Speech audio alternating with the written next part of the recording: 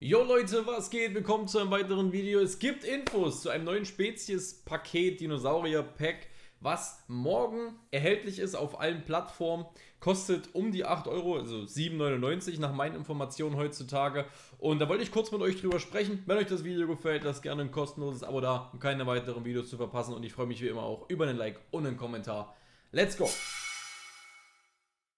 Ja, als ich gestern mein Video geschnitten habe, bearbeitet habe, gemacht habe und dann gerade am Uploaden war, sprang mir auf einmal ein Video mitten ins Gesicht und es hieß auf einmal, ey, es kommt ein neues Spezies-Paket und das direkt morgen, also am 13. März, also wenn ihr das Video später seht, heute ist Dienstag, der 12. März. Ja, morgen kommt das Ganze raus und sie sind endlich zurück. Wir kriegen unsere Hybriden. Deswegen bin ich heute wieder mal eher so die spontane Möhre. Nicht so wie sonst meine wirklich, ähm, ja, Videos mit bisschen mehr Arbeit. Das ist hier heute wieder eine eher spontane Sache. Trailer gucken wir uns ähm, gleich nochmal an oder ich schneide ein bisschen was vom Trailer rein. Und es kommt als allererstes natürlich ein komplett neuer Saurier rein, wie wir hier sehen, der Spinoceratops, den wir bisher nur aus der Serie kennen. Also Camp Kreidezeit, neue Abenteuer, Jurassic World, neue Abenteuer, den genauen Namen der Serie vergesse ich immer. Der Spinoceratops, den gab es so noch nicht, auch nicht in Jurassic World Evolution 1. Der kommt quasi einmal komplett neu ins Spiel. Den Stegoceratops, den wir schon aus dem ersten Teil kennen, den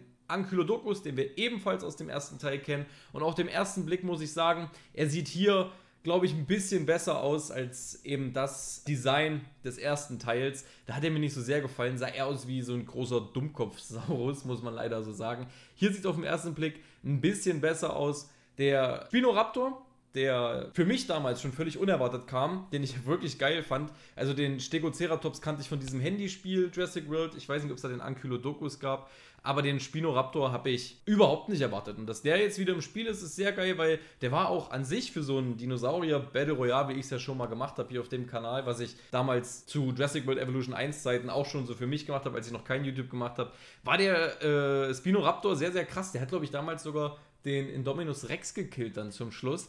Ähm, hier sehen wir nochmal den äh, Spinoceratops und da wird schon eins klar, die Saurier haben alle Biolumineszenz. Also was wir schon vom Parasaurolophus kennen, werden wohl alle Hybriden, die jetzt hier ins Spiel kommen, alle in der Nacht leuchten. Also biolumineszent sein. Und das ist natürlich sehr geil. Dadurch haben wir das Merkmal nochmal bei Meersauriern. Das wünsche ich mir eigentlich allgemein für noch mehr Spezies, die schon im Spiel sind. Schreibt mir dazu gerne eure Meinung in die Kommentare, was ihr davon haltet, dass eure Saurier nachts leuchten oder ob ihr gar kein Fan davon seid. Ich weiß noch, als es damals in der Serie das erste Mal diese leuchtenden Parasaurolophusse gab, dachte ich mir, geile Idee. Gab es vorher so noch nicht.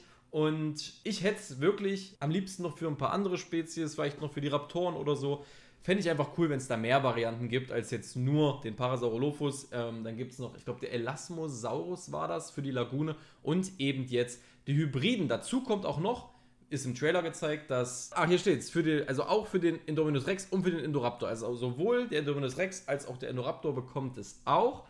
Aber danach sieht es schon schlecht aus. Also mehr wird es wirklich nicht geben an biolumineszenten Skins. Und es gibt leider so einen bitteren Beigeschmack, neben all den guten Nachrichten, dass wir die ganzen Hybriden wieder zurückbekommen. Die waren ja wirklich von der Community, was ich so gesehen, gelesen habe, wirklich lautstark gewünscht und cool, dass sie wieder ins Spiel kommen, denn wir haben alles andere von Jurassic World Evolution 1 im Spiel, außer vielleicht ein, zwei Kleinigkeiten. Warum da nicht die Hybriden auch noch mit ins Spiel bringen? Und ich finde es auch komisch, dass der Spinoceratops schon beim Camp Kreidezeit Update nicht mit dabei war, leider. Und die schlechte Nachricht ist, es gibt keinerlei andere Sachen. Also normalerweise haben wir immer irgendwie ein DLC, Dinosaurier-Paket und ein Free-Update dazu bekommen. Und wer jetzt nicht wirklich auf der Seite steht und sagt, ja, ich möchte noch mehr Spezies unbedingt in meinem Park, für die waren die Free-Updates immer sehr, sehr geil und viel wichtiger als eben mehr Spezies. Denn diese Quality of Life Changes, also die Spielerlebnisverbesserungen, waren immer sehr gut und immer durchdacht, hat es einen wirklich leichter gemacht. Und da muss ich sagen, die waren teilweise wirklich besser als die eigentlichen Updates, die es zu kaufen gab, wie jetzt eben Saurier-Pakete. Also wirklich nur für die Playerbase, die jetzt sagt, ich brauche nicht noch den 130. Saurier in meinem Park.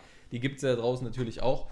Und dementsprechend ist es ein bisschen schade. Es gibt also nur Bugfixes und diese neuen Hybriden plus Biolumineszenz-Skins, aber dann hört es leider auf. Und daher ist wahrscheinlich auch das irgendwo durchgesickert, was ich immer sage, es soll zwei DLCs geben. Das ist jetzt eben das eine, dieses Hybriden-Paket oder ich glaube ja Secret Species Pack, also das geheime Spezies-Paket, was jetzt eben ins Spiel kommt. Das ist dann wahrscheinlich das erste DLC, kostenpflichtige DLC, was es geben wird in diesem Jahr. Und ich hoffe, das wird auch nicht das letzte sein. Und ich hoffe, dann kommt wirklich noch ein Banger, um das Ganze abzuschließen. Das Thema Jurassic World Evolution 2. Denn das darf nicht das Ende sein, meiner Meinung nach. Weiß nicht, wie ihr da denkt, ob ihr sagt, ich brauche nichts mehr, das Spiel ist so komplett, wie es ist. Aber ich hoffe nicht, dass es damit endet. Ich hoffe, da kommt noch ein bisschen mehr dazu. Ja, den, den Trailer könnt ihr euch reinziehen auf YouTube, der ist ganz cool gemacht, geht auch nur 30 Sekunden ganz entspannt. Seht ihr ein bisschen die neuen Saurier und deren Skins, vor allem, glaube ich, sogar alles bei Nacht, wenn ich mich recht entsinne.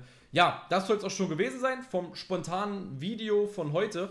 Ich werde zu diesem DLC kein separates Video machen, wenn es morgen rauskommt. Außer es kommt gegen alle Erwartungen und gegen alle Infos doch nochmal sehr, sehr viel anderer Content. Also ich mache jetzt für zwei neue Dekos nicht nochmal ein extra Video. Wenn da mehr drin steckt, dann werde ich noch ein neues Video, Video dazu machen.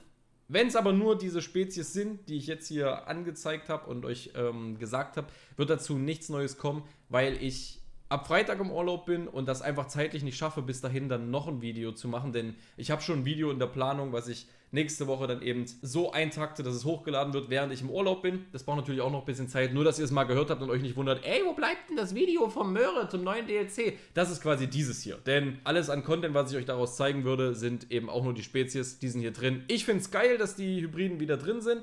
Wie gesagt, die wurden sich wirklich lautstark gewünscht.